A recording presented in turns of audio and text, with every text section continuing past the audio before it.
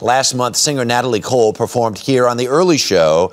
She was not well, but shortly after she found out her life was actually in danger. Recently, she spoke with Mary Hart, host of Entertainment Tonight, and Mary is with us live in the studio. Good morning. Good morning. It's good to see you again, but in person this Live in time, person, Harry. very yes. nice, yeah. You know, I did spend an afternoon at home with Natalie just the day before yesterday, and to say that she is doing much better truly is an understatement. She is doing amazingly well, but she was very, very sick, Harry. You noticed it when she was here. Mm-hmm. She felt she was uh, performing terribly and apologized, but she's roaring back now. She's ready to get out there and perform in a few weeks, but is still undergoing treatment, and it's all been very serious. And I, I want you to just take a look at what she looks like right now. Okay.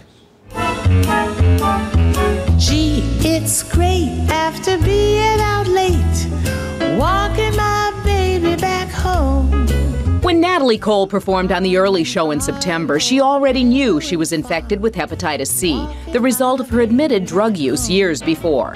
You haven't been feeling so great. No, I've been a little under. A little, under. Yeah. Got a, some hepatitis thing. Yeah. Right. So that's got you a little, it's very challenging. A little challenging. Yeah. But Natalie didn't know how challenging it was about to become. A week later, she was in the hospital.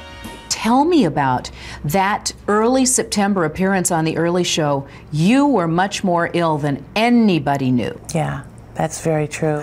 I was so sick. Plus, we had to get up at the crack of dawn. My breathing was starting to get difficult.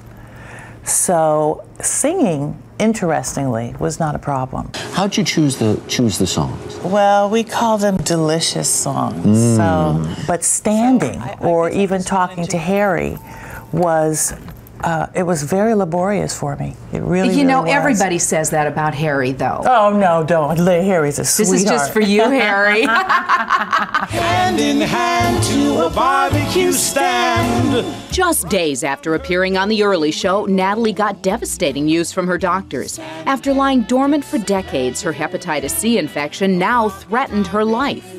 They took X-rays and they said you got to go in the hospital right now. Oh my Your gosh. uh, lungs have filled up with fluid. Your kidney function is less than 10%.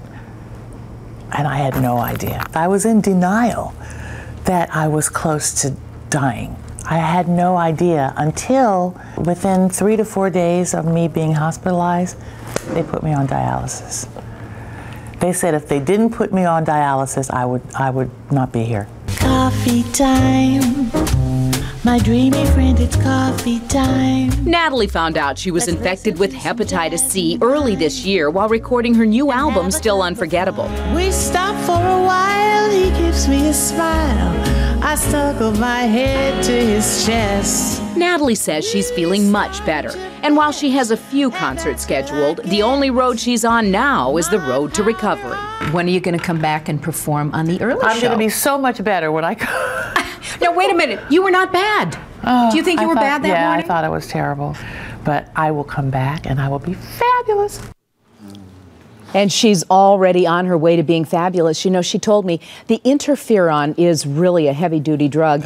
And uh, her liver, however, has bounced back Hmm. to 80% of normal. And that's because of the interferon Right. treatments. And she needs a kidney transplant, perhaps? Well, Harry, what happened? Her kidneys started shutting down. That's what they discovered here in New York in the hospital. Uh-huh. And and what astounded me was she is such a hard worker. She said she's she was in total denial. Yeah. In fact, she wouldn't have gone to the hospital had Mm. her girlfriend not heard her laborious breathing on the phone and said, "I am sending my doctor to you now." Mm. Yeah. She could have died within a matter of hours. She is such a treasure and has such a talent and has such- such an amazing spirit.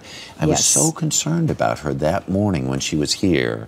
That just, uh, I'm so glad you caught up with her and that she's doing all right. Well, and it really is that spirit. Harry, I've known Natalie for a long time, Mm. and you're right. She is an icon, she's a treasure, and immeasurable talent. Yeah. And right now, she is not back to singing. She, you know, she needs a few more weeks. She has a couple of appearances, but she literally, just a matter of weeks ago, could barely walk up the two steps to sit down. I gotcha. Remarkable woman and great attitude. and what a pleasure to see you, Mary Hart, in person in our studio. So great. Well, it's great to be here in New York with you. You know, we unfortunately are fighting serious fires and tremendous winds and heat in California, so it's really a nice of uh, nice breath of brisk air here. There you go. Mary, so great to see you. Thanks.